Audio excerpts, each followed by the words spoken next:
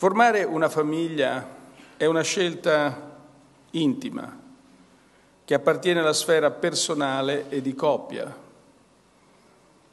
È una decisione influenzata da tanti fattori, anche fattori culturali che si evolvono nel tempo.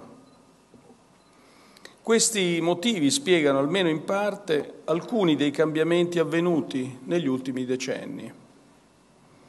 In particolare il calo della proporzione di famiglie con figli, la riduzione del numero dei figli per coppia e l'aumento dell'età media in cui si ha il primo figlio.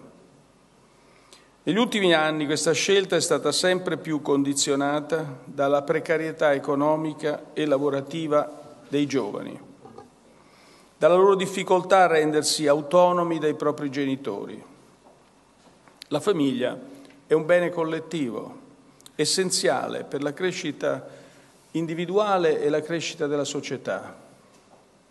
Questo bene collettivo può e deve essere tutelato dallo Stato. Fin dagli anni Ottanta l'Italia ha però registrato una spesa pubblica per le famiglie stabilmente più bassa rispetto ad altri paesi europei come la Francia, la Germania, il Regno Unito.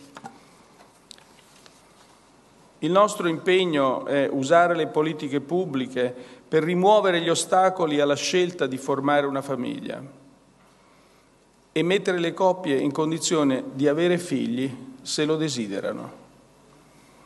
Oggi voglio soffermarmi su quello che come governo abbiamo fatto negli ultimi mesi.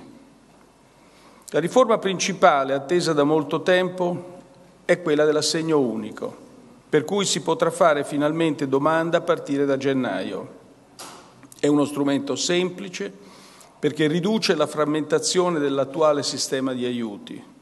È universale perché riguarda tutte le famiglie con figli a carico, a prescindere dalla condizione lavorativa. È equo perché sostiene più intensamente chi ha un reddito basso